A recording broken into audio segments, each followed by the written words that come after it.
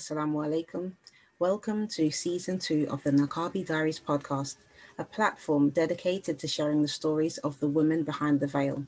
This season, we will be speaking to more Muslim women from all walks of life as we continue to discuss their deep and intimate reasons for wearing the niqab, the Niqabi Diaries, our experiences, our perspectives, our voices. I'm your host, Samar, and thank you for listening. Please don't forget to like, share, and subscribe. Assalamu alaikum wa rahmatullahi wa barakatuh, sister. How are you? Alaikum salam wa barakatuh. Alhamdulillah, doing well. How about you? Alhamdulillah, alhamdulillah. Jazakallah khair, sister, for joining us today on the Niqabi Diary. Sister, could you please introduce yourself for the listeners and tell us a little bit about what you do, inshallah? My name is Zainab bint Younus. I am a Canadian Muslim woman. Uh, I've been on the internet for a really long time.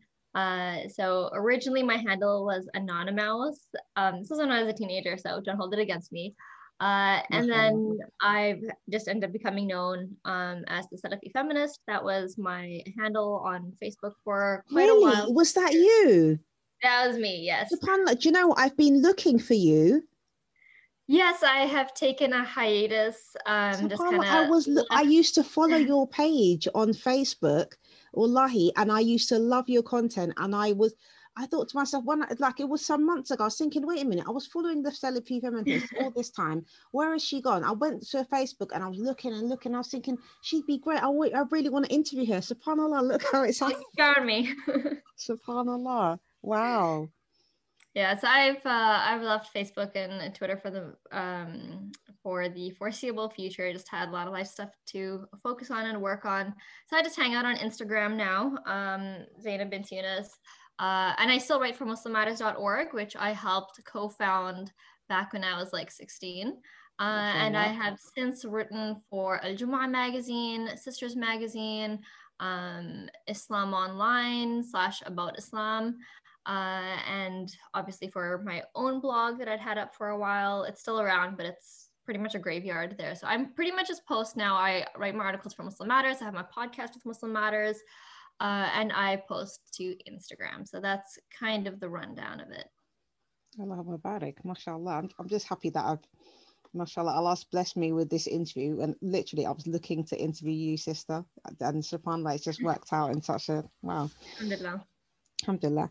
Okay, um, so sister, can you tell us a little bit about your Islamic background for us and then introduce us to how did you get to be wearing the niqab, inshallah?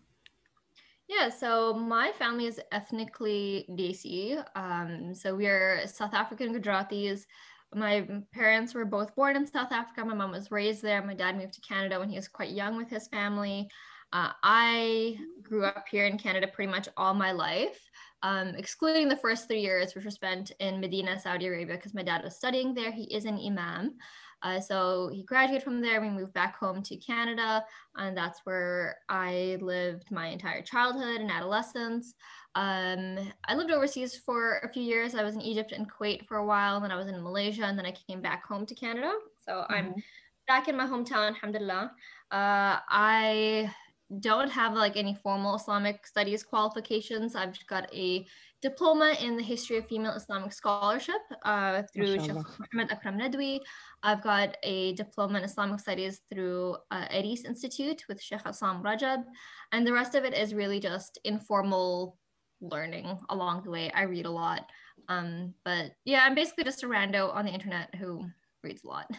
Alhamdulillah. So are those institutions that you mentioned, are they online? Are they courses that other sisters could join?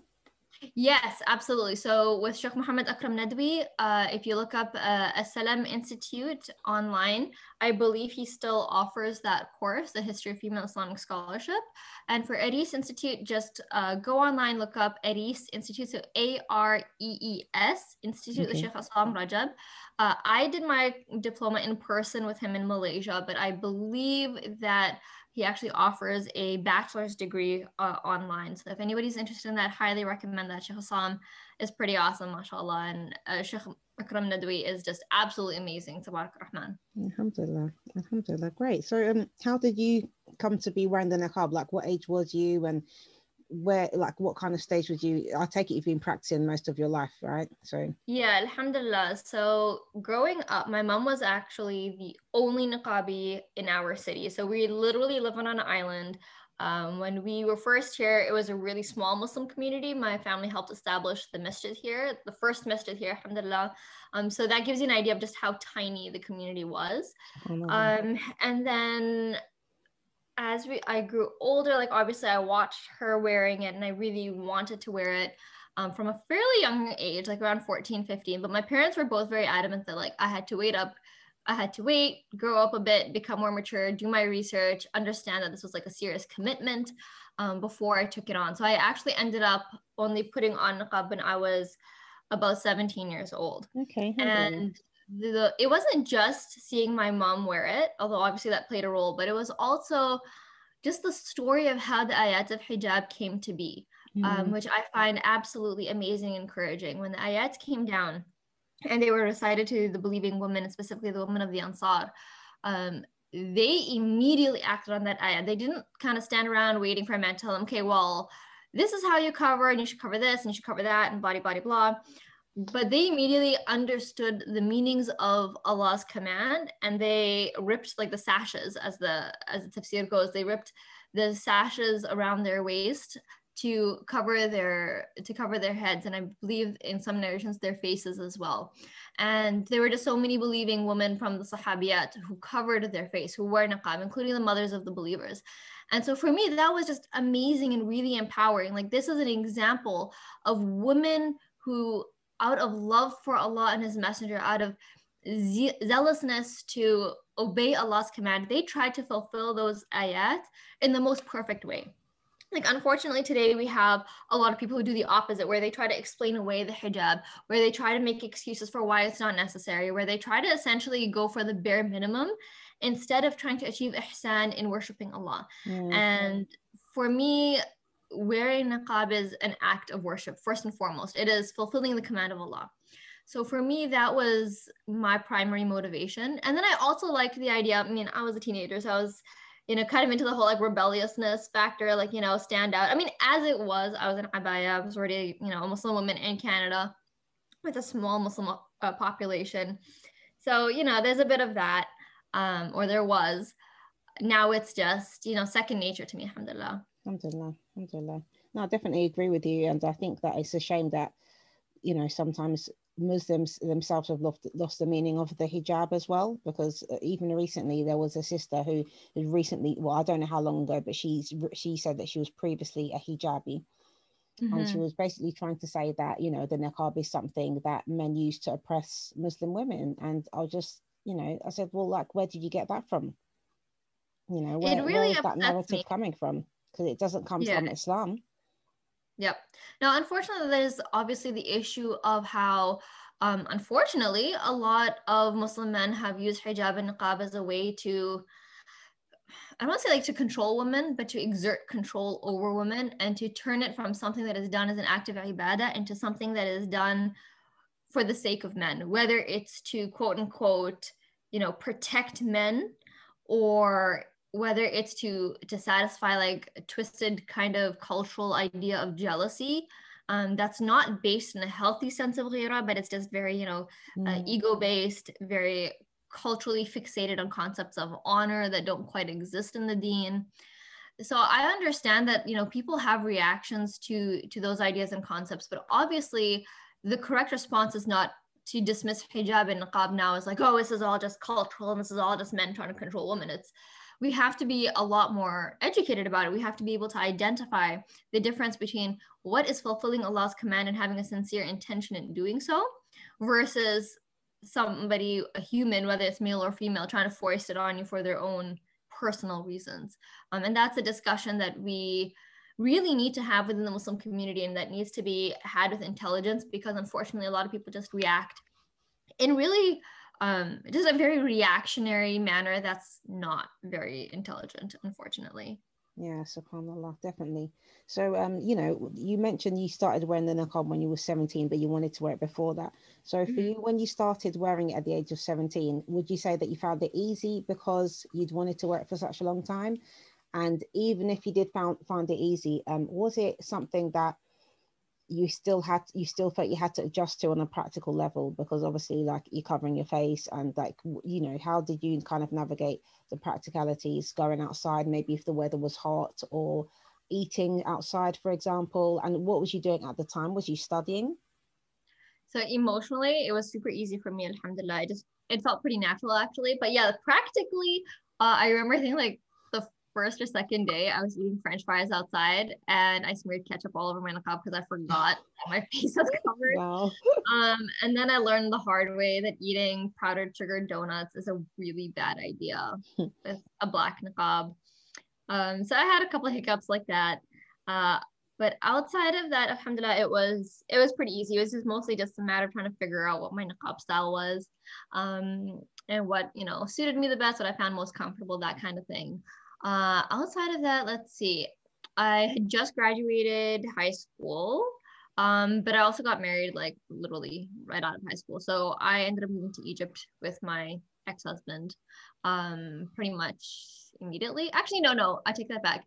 Um, I worked for about a year before I left home. Mm-hmm. And it was fairly easy. I mean, I did experience some like Islamophobic screaming and yelling and whatever, but I already saw that before with my mom. Right. Um, and so it like obviously it irritated me but it didn't traumatize me. It, mm. it didn't upset me in the sense that i was like emotional and crying. I would just get like really angry and ticked off and yell back at them um, which usually freak them out because they never expect you to respond. They think that they can just insult you and that you don't speak english.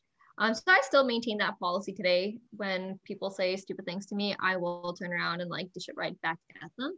Uh, and that makes me feel better Alhamdulillah. Alhamdulillah, sister.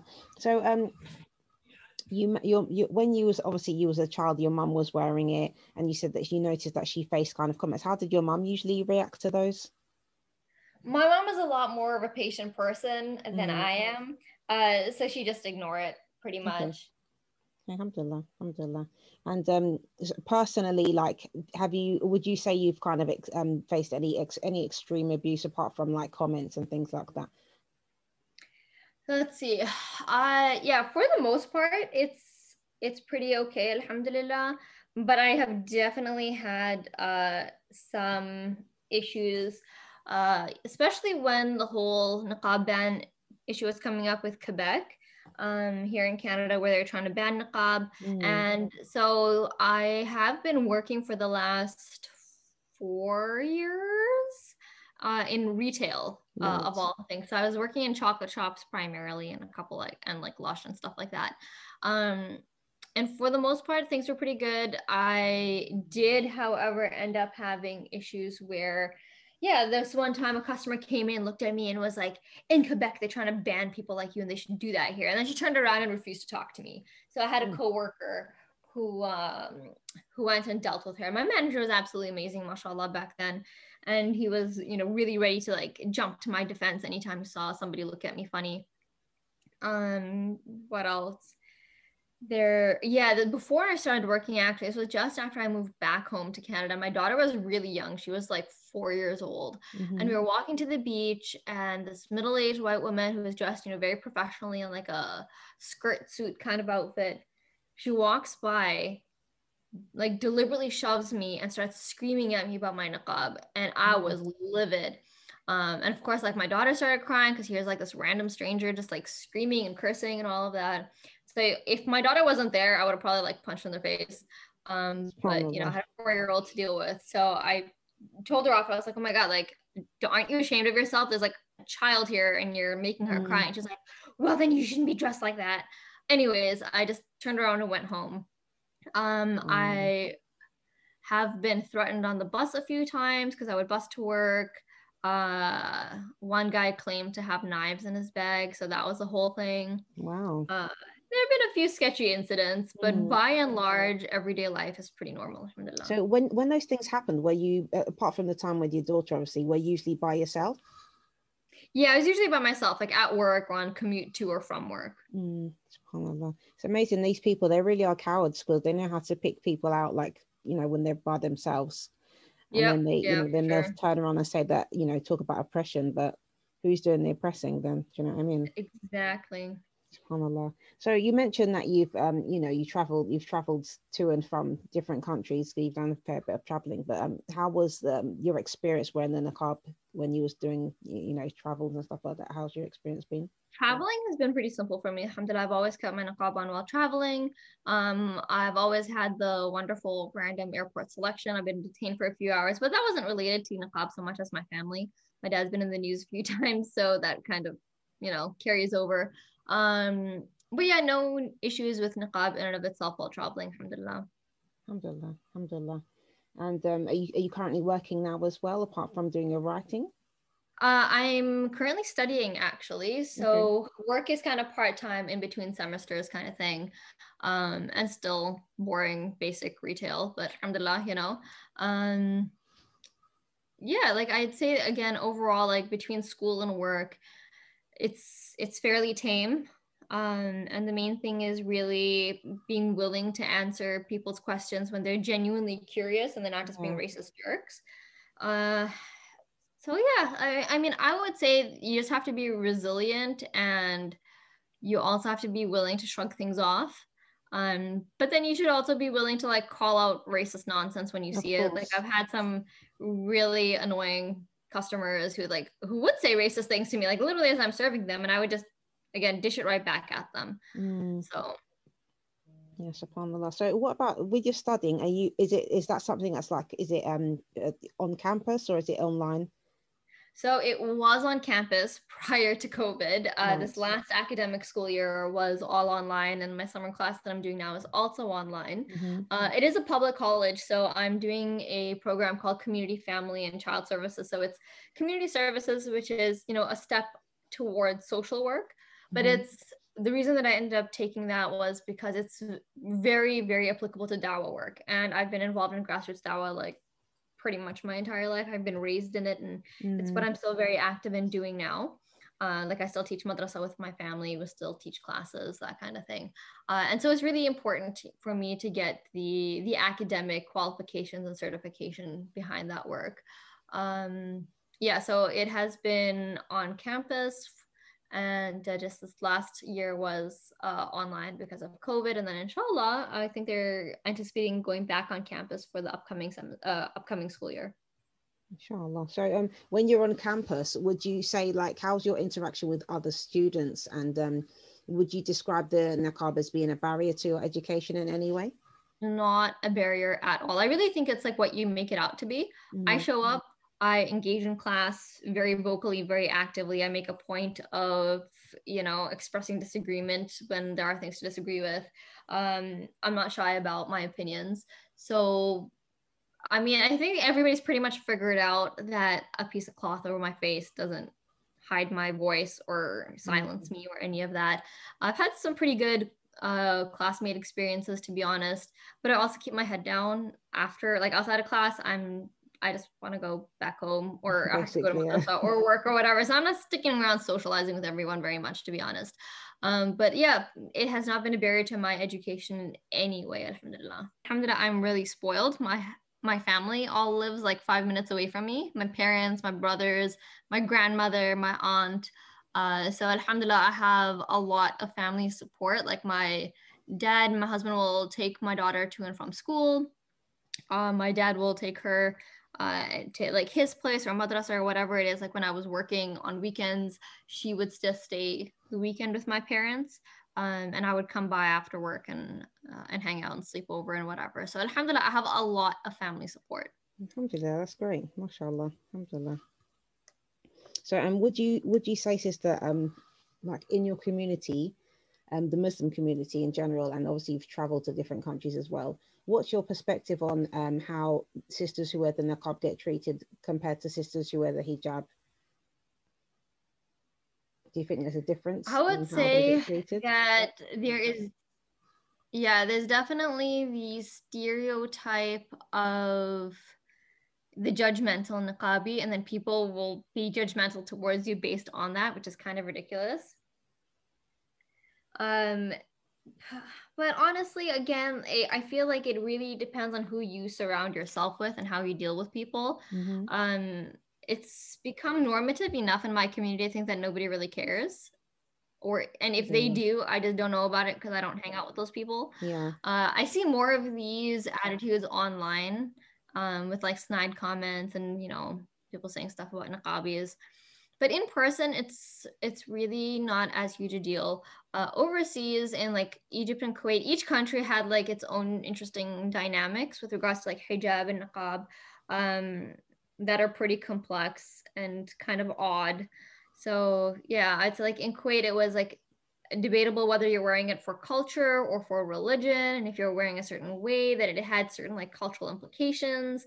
Um, in Egypt, it was also really weird because dudes just tend to be super duper pervy there, even and especially when you're in niqab. So they will like try to stare you down or catcall you, and it's it's really bizarre. But um, wow. yeah, alhamdulillah. Malaysia was definitely Malaysia is my favorite country in the world, to be honest. MashaAllah, Allahumma barik. Um, everybody's super chill, super respectful. Everyone's just awesome. MashaAllah. I don't think I've had a single negative experience in Malaysia. So props to Malaysia. Alhamdulillah. I hear a lot of good things about Malaysia, to be honest. MashaAllah. Alhamdulillah. That's great. So, yeah, um, sister, um, I wanted to talk to you a little bit about your writing. How did you get into writing? And um, you did say you're the co-founder of um, Muslim Matters. Yes. So I essentially have always had opinions and been a little too vocal about them. Uh, and so I just wrote them all the time. um, I started off as a blogger uh, and then connected with a few other like-minded Muslim bloggers, and we all got together and co-founded MuslimMatters.org, which, mashallah, you know, um, blossomed into a pretty huge platform. Um, I was retired from them for a few years, and I came back a couple of years ago. Um, yeah, for me, it's like writing is just part of who I am. So I've always done it. I don't have any formal training in it whatsoever. I just, like I said, I read a lot and I write a lot, and uh, that's that's really it, to be honest. Alhamdulillah. So, um, when you um started it, obviously you said you ha- you've always had a lot of opinions. So, was it just something you just thought, let me just make this platform that I can get my opinions out, or was there any kind of specific aim that you had when you started it? I actually started off writing articles for a local uh, Muslim newspaper in Vancouver back when I lived there. Mm-hmm. So that was my first experience where I was like writing for a community platform. And I shared a lot of my articles just on my blog. And then as I like really got immersed in the Muslim blogosphere, I was just like, yeah, there's all these Muslims hanging out on the internet. Let me join them basically. And so that's that's how it started really. And then having things to say, like I said, I've always been involved in grassroots dawah and activism and being involved in that kind of community work. I found a lot of similar minded and experienced people online like muslims and so it became a really valuable opportunity to learn and to share and to have um, some really great discussions together alhamdulillah alhamdulillah so um, and can i ask you about the salafi feminist because obviously i was following you on facebook yeah yeah for sure so how how was like you know how do you because I just thought that was amazing. I really really loved the content that you were sharing there, mashallah. So like obviously I'm assuming it is coming kind kind of coming from the same place, but obviously it's a different platform as well at the same time. So would you kind of give them this similar content? Um, would you say the content from Salafi Feminist was similar to what you would put out on Muslim Matters as well, or were they kind of distinctly different? Um, a little bit of both, I guess. So with Muslim Matters, I just covered a lot of different issues, wide range of issues. But I did become like when I kind of came up with the Salafi feminist moniker, it came about because I became very heavily invested in Muslim women's issues um, mm-hmm. and all the issues that we're struggling with. And I continue to be very invested in those topics and those issues because of my personal experience, because of the experiences of so many Muslim women who have reached out to me and talked to me and shared with me. And we don't have very strong advocates, unfortunately. There are too many people who are, unfortunately, um, either too shy or too afraid or too uh, worried about how others will speak to them or perceive them or react to them. Um, and for better for worse, I care very little about other people's opinions about me. Mm-hmm. Uh, and so I didn't really have any sense of fear in terms of like, oh, if I say this, what's going to happen? I mean, I did have people harass me. I had hate mail constantly. I had people like publicly attack me. I had stalkers. I really? had because of the yeah, feminist. Yeah, yeah. Uh, I had people like going to my husband, my father all the time, telling them to tell me to shut up. Uh, it was a whole thing. Um, and uh, it was a good run. but uh, yeah, I mean, like I'd say I probably made a few mistakes here and there, but by and large, like I felt and still feel very strongly about the topic of of just being an advocate for Muslim women and standing up for ourselves and not being shy to call out our problems and our mm-hmm. issues. You know, so yeah, it's it's work that really needs to be done. Yeah, it really is important because I mean, I remember like the things that used to bring up there. That's the I think that's the first time that I used to see somebody really kind of taking these things head on, and it's not only that, but you would you know give references from the Quran and the Sunnah, which kind of backed it up. Whereas you know often when it came to like women's issues, a lot of you know from other Muslims maybe it's always got this kind of um I don't know, like kind of a Western feminist kind of edge to it. Maybe. Yeah, unfortunately, like the progressive liberal academic types have really done a number in hijacking the Muslim discourse about Muslim women, Muslim women's issues. And that's something that I'm actually really focused on right now, um, doing a bit more research on a lot of like progressive Muslim academics and how they have done a horrible job just like dismantling understanding, basic understanding of how Islamic sciences work, how Islamic scholarship works, and putting a lot of doubt in the hearts of Muslim women in terms of like, oh, can we really find and get our rights from Islam mm-hmm. when you know it's all patriarchy, it's all this, it's all that. Now, obviously, I'm the first person to say like, yeah, misogyny is real and it's it poisons our ummah, but at the same time, the proggy academic course is not the way to go. Like leaving going further apart from Allah, trying to find ways to abandon the words of Allah, trying to find ways to you know create a new islam is it's really not it. So again it's a it's like a two pronged battle that we have to fight. We have to fight all the issues that we have within the muslim community and then we have like these other people trying to just dismantle our deen. So definitely definitely agree with that because um the, the, other day I was just kind of going over um looking at some Islamic history and things like that and I was watching a, a documentary about Sheikh Faisal actually um, um, not Sheikh Faisal uh King Faisal um from you know the king one of the past kings of Saudi Arabia and and it was talking about how he reintroduced education for females in Saudi. Yeah and it's something I didn't I didn't have any knowledge about. I don't really know much about Saudi and stuff, anyways. In general, it's actually a fascinating story because uh, it was him and his wife, who was mm-hmm. a, a, Turkish noblewoman or a yes. princess, I believe. Um, and they were very passionate about women's education, and I think that's an amazing thing. Like that's an example of things that we don't hear about, right? That we're yes, not exactly. About.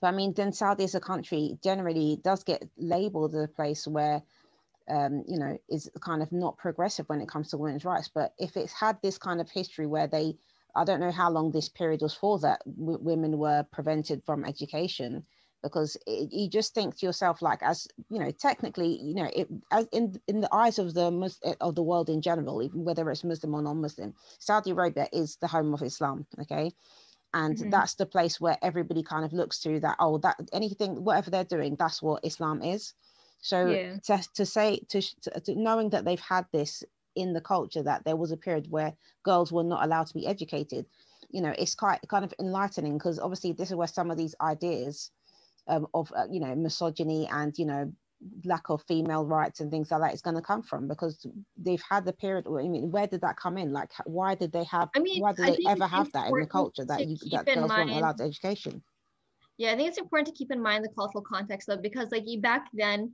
education in general was not very well formalized to begin with mm. for boys or girls and most girls were privately taught how to read and write and whatever kind of domestic things um, and like the concept of a public school system itself had not been completely formalized. Mm. So it's not like, oh, the boys had this amazing education system and girls didn't. It was just that like an option existed for boys that didn't exist for girls at that time. And then it was introduced for girls. Um, and it's really important to note actually that despite um, the bad rap that Saudi has in many ways that it actually deserves because like they're screwed up in, in many ways. Mm-hmm. Um, but when it comes to education for women in not just in Saudi, but in the surrounding like Khaliji Gulf countries, uh, women are extremely highly educated like they've yes. got like multiple degrees they have great careers and stuff too. Um, I think every Saudi woman I've met has had like bare minimum like a master's degree in at least one topic. Yeah. Um, I've had an amazing Quran teacher, uh, Sheikha Sumaya, who she had her Islamic studies degree. Uh, she was a hafidha. Um, she taught Quran, and she had she was living in Canada for a while, uh, and then in Malaysia, pursuing her master's and her PhD in secular studies. So and she is not you know an anomaly by any means. Like they are extremely well educated. Definitely. I mean i can i can uh, i can agree with you because i've had similar experience here. Whenever i've met women from those countries they're always more educated than everybody else that i know. Like it's something that's that's why i was so shocked to like you know notice that in the documentary. But um and i think unfortunately like the truth of what like you know the situation how things are is not what people seem to recognize and i don't know like maybe it's partly to do with the feminists themselves who come from some of these countries they kind of propagate this idea that the women in those countries are having really the hardest lives and the hardest time and they're you know they yeah you've got people oppressed. like Mona Eltahawy, who is notorious for just like making up BS and all kinds of nonsense. Like I've read so many books, you know, allegedly by women who lived in Saudi and who, you know, just perpetuate this idea that it's a dank, dark place that has nothing. I'm like, y'all don't understand how spoiled Saudi women are. Exactly. They are sitting there with like drivers and chauffeurs and nannies and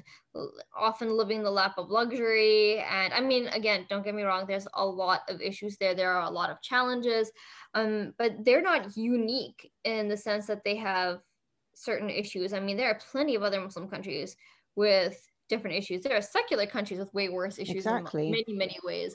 So it's it's not like, oh, this misogyny is unique to Saudi or to certain types of Muslim countries. I'm like, no, it exists everywhere. It just manifests in different forms. It's essentially it's jahiliyyah. And this is something that I um that Sheikh Akram Nadwi uh, articulates really well that whenever you see the oppression of women and injustice against women, it is simply jahiliyyah whether or not it's justified with deen or not. And of course, Islam and Allah never allow uh, oppression. Like Allah has said, He's uh, He's forbidden oppression for Himself, and He has forbidden it for us. So it doesn't matter how many ayat or hadith somebody quotes. They, if they are oppressing women, it's oppression of women, and that's haram. Zulm is uh, oppression in this world will come as a darkness on the day of judgment. Mm-hmm. Um, and those who twist the words of Allah and His Messenger will be punished for it.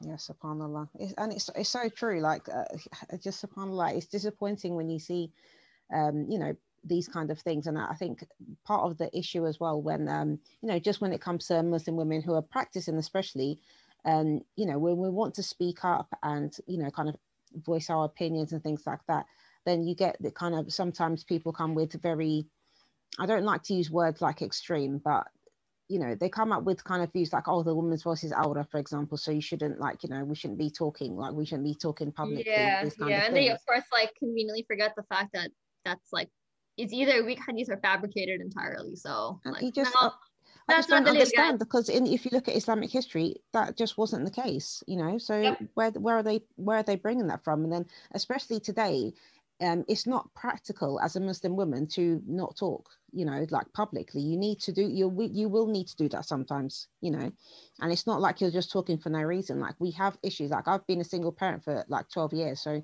for me, mm-hmm. if I didn't, you know, if I was just going to sit in the house or just sit in the corner, kind of thinking, oh well, somebody needs to speak for me, then I wouldn't get anywhere. You know, there's certain things that I need things I need to do is, you know, from on a practical level, you need to speak up for yourself. You need to, you know, put your point of view across so that people can be aware of, you know, what's going on, of different issues that do exist that they might not be aware of because that's not what they're experiencing.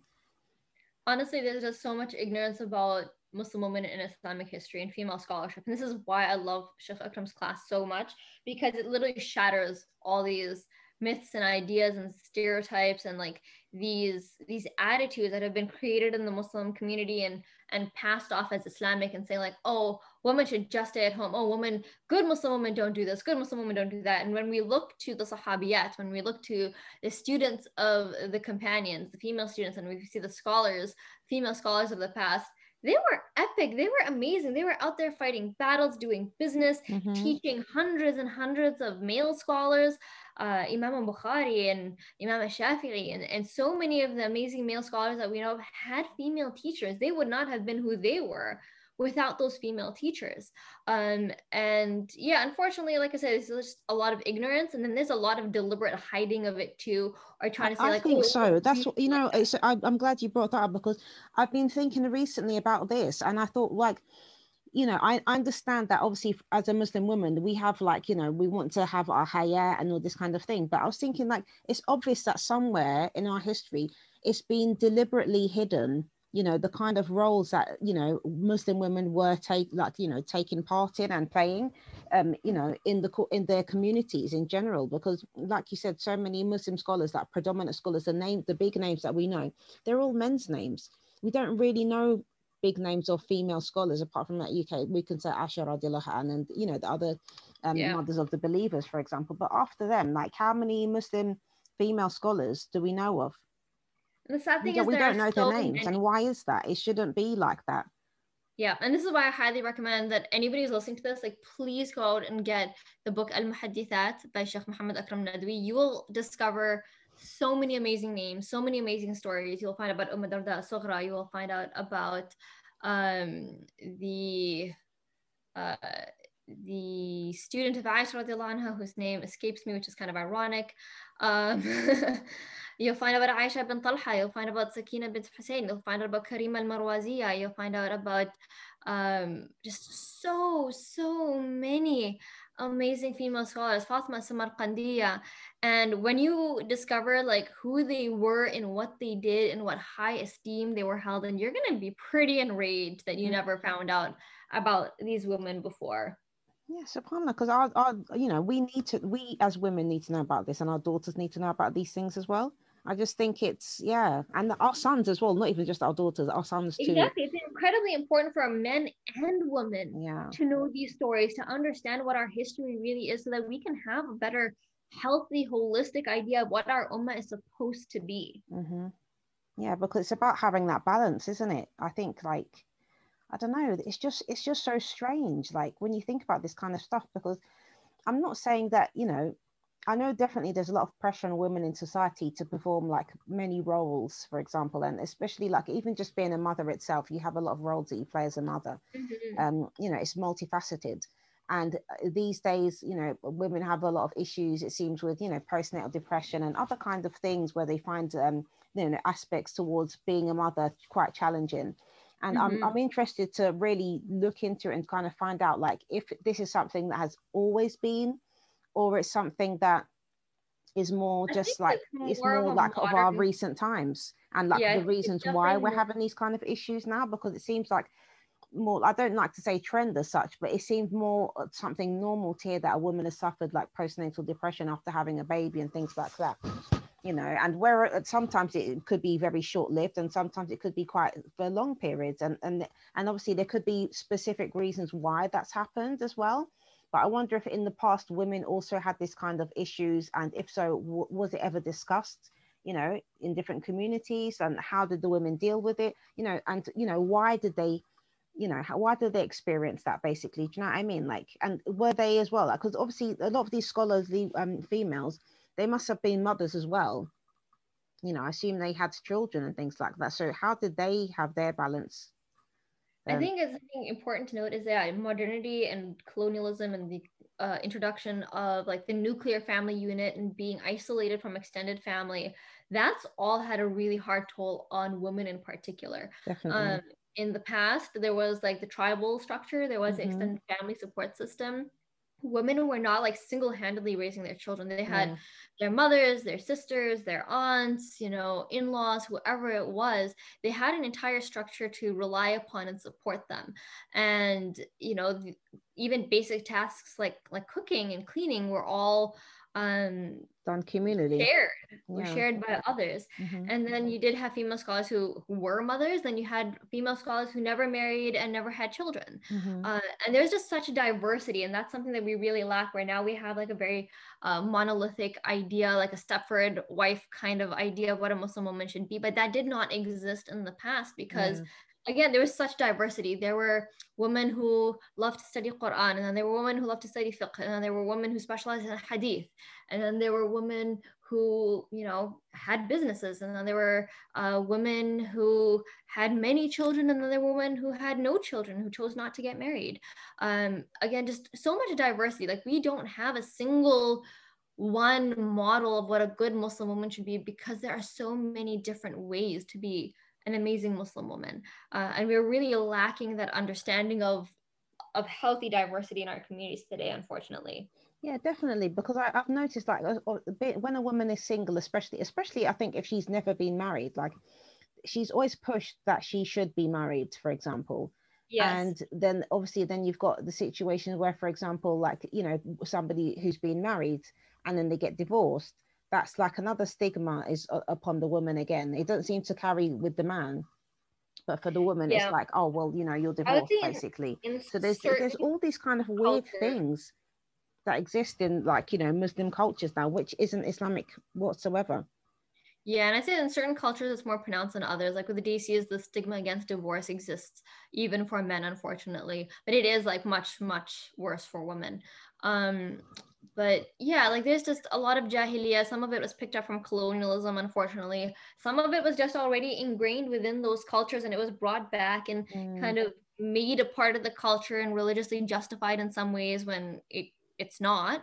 Um but yeah the ignorance that exists that is just perpetuated over and over again is extremely unfortunate. This is why it's so important for us as Muslim women to pursue studying, to ask those hard questions, and not to be satisfied with, oh, just this is the deen just listen to the sheikh and, and don't question don't argue. No you should find out. Yeah. i mean obviously you don't want to like reject allah and his messenger but you also don't want to assume that the words of a random person are equivalent to what allah and his messenger have said. Always ask for dalil. This is what sheikh Assam taught us. What's the dalil find it ask the questions is it authentic is it not what was the context for it mm. you can't mm. just like pull an ayah or hadith out of isolation and be like aha this means that you have to stay home. This means that you can't do this. This means you can't do that. What did the Sahabiyat do? What did the mothers of the believers do? How was it understood by the companions of the Prophet? How is it um, dealt with by Rasulullah? And this is why, again, so, so important for us to study and to learn. And there are amazing female scholars today that we can learn from. There's Sheikh Aisha Wazwaz, there's Dr. Haifa Younis, there's uh, Sheikh Shazia. Uh, Ahmed, there is Dr. Rania Awad, there's Sheikh Dr. Tamara Gray, um, there's Sheikh Zainab Ansari, there's Sheikh Ieasha Prime. There's just so many amazing teachers. Sheikh Maryam Amir. Um, just again, so many amazing teachers, and I highly recommend anybody who's listening, please go find them. They're all available on social media on Facebook, Instagram, uh, YouTube. You can find their lectures. Find these female scholars, learn from them, study from them, ex- ask questions. Always, always ask questions. Um, but obviously don't go to the extreme of like Amina Wadud or Kecia Ali or Fatima Mernissi. Like those people are not scholars of Islam. Mm-hmm. They're academics who yeah. have a very specific progressive agenda um, and they outright deny Quran and Sunnah. Mm-hmm. Um, and it's you want to always make sure your grounding is within the Quran and Sunnah, that you are always yes. checking back is this pleasing to Allah? Is this obedience of Allah? Is this truly seeking to understand the deen as opposed to make excuses or justify one's own weaknesses or one's own frustrations? Definitely, subhanAllah. Really, I think, uh, inshallah, I'm going to get you to give me a list if that's okay, like of yeah, all these absolutely. names, and then um, we'll what we'll do we'll I, am creating a blog actually so inshallah hopefully by the time this episode is released hopefully my blog will have been complete because i wanted to make a blog for the niqabi diaries Oh, nice. We'll have like a page where like sisters can go and just look like for links to references to all these different, you know, female contemporary scholars as well as those of the past as well. But I think especially the contemporary ones of today because it's really important because you know we hear you know like you like you've talked about so many things here which is really important for us but um you know we know these things must be out there but it's just how do we get like access to them? And like you mentioned there's certain people like you know that we shouldn't take from you know i mean? Like so we, we don't want to become like confused and think that somebody's um, a scholar when they're of islam when they're actually just not you know because they happen they said that they're muslim but you know they're just academics but not actually scholars of the religion itself So that's Mhm. really important. So inshallah, if, if I can get that from you, that'd be really great. Yeah, absolutely. Just like a khair. Okay, so um, yes, sister, I don't want to keep you for too much longer, so I'll just ask you the last, uh, inshallah, few questions so that you can be on with your day. I'm sure you've got plenty of other things to do. Um, so I wanted to ask you as well, um, have you met any um, sisters who would like to wear the niqab in your community or otherwise, um, but they've been prevented from like family members or they, um, you know, or maybe sisters who've been forced into wearing it? Have you come across anybody Not like that? Not so much uh, my local community online for sure. I think Mhm. it's interesting because we've got two different extremes here. We have those who are prevented from wearing niqab and who like face harassment from family and friends for it.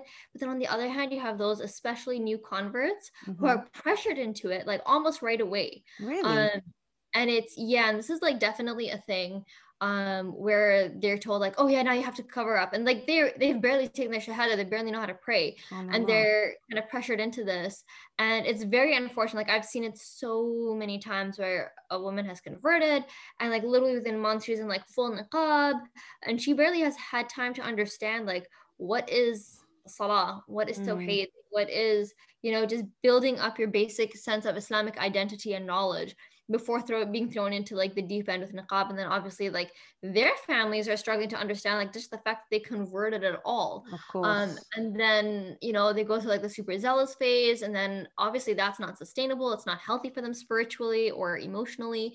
Uh, and then a lot of them end up taking it off and then take off hijab entirely. So that's Mm. a whole pattern unfortunately that i've seen that i discourage. Now for myself i consider niqab to be sunnah not wajib.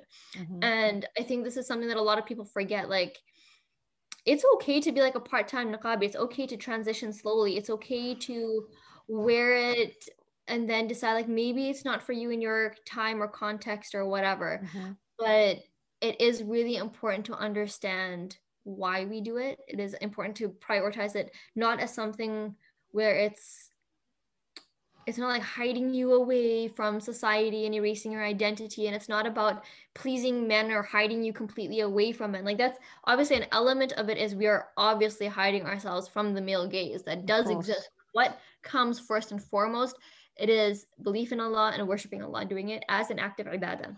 Mhm. and having that grounding and having that foundation and just having a really balanced healthy holistic view of what it is and what it means that's what's really important to establish so that there is not undue emotional attachment given to it whereas like somebody will prioritize hijab or niqab over salah five times a day Yeah. you know? Obviously like one is fard than the other is not. Um so yeah like we have a lot of unhealthy narratives and ideas about niqab and like wearing it or not wearing it unfortunately and that really needs to be uh, addressed and dealt with more Yes, subhanAllah, definitely. So, um, what would you specifically advise sisters who are contemplating wearing the niqab at the moment, um, and maybe they feel they don't have that your- much confidence? yeah check your intentions. Ask yourself why you're doing this. Don't be afraid to just like try it out a little bit. Do a test run. Um don't be fanatical about it but be strong as well. Like if you really want to do this if you're convinced like you know this is an act of worship that you really want to do and you you're truly inclined to it like pray istikhara make dua that allah strengthens you. And don't care about other people's opinions. Their opinions do not pay your bills. So why do you care? You know like really you really have to develop a thick skin. I think it's just a valuable skill as a person but especially so as a muslim woman. You have to learn to not care about other people's irrelevant opinions. And you have to Mhm. know how to stand up for yourself you need to be able to articulate yourself clearly. You need to be able to hold your ground. Don't like have a mental breakdown because somebody said something mean to you or looked at you funny. Like Mhm. like be strong. Be strong. Like truly like as muslim women we are meant to be strong. We are not like little delicate flowers to be trampled on. We are an ummah of strong women and we need to act like it. Definitely, alhamdulillah, mashallah. alhamdulillah, I agree with you completely, mashallah. It's really important. Um, so uh, to end the interview, I will ask you, what does the niqab mean to you? ibadah. It's an act of worship. It's something that I hope will give me, you know, like edged brownie points on the day of judgment. I'll be asked about like all my sins and my screw ups. But then I'll also be told like, hey, you got a mountain of because you went and did that. So I'm like really inshallah. banking on that, inshallah, you know, because Allah knows my many, many faults and failures and many other aspects of my life. Um, but it's yeah, it's a part of me now. It's part of being a Muslim woman, of being strong and proud of being a Muslim woman and being unapologetic and not trying to just like fit in and not trying to just be like everybody else because we're not like everybody else. We are Muslims, we are believers, you know. Allah tells us the believers are the greatest of all creation. So we should be acting like it and not be shy, not be afraid of it. And just you know, it's I feel like it's a symbol of strength as well, inshallah, and it's a symbol of just like our Islamic identity. It really is, and not something to be shy about. So I pray that you know Allah gives us all true sincerity in our acts of worship, whether it's niqab or anything else that we choose to undertake, uh, and that we are able to continue in those acts of worship with that sincerity, and that it is a source of ajr for us on the day of judgment, a source of reward for us, uh, and helps us get to Jannah, inshallah. Inshallah, inshallah. Jazakallah khair. Thank you so much, sister, for this time that you've given us today and your beautiful advice and really amazing like things that you've talked about during the discussion. I've really benefited. Alhamdulillah. Yeah, thank you so much. Alhamdulillah. Assalamu alaikum wa rahmatullahi wa barakatuh. Wa alaikum assalam wa rahmatullah. Sister?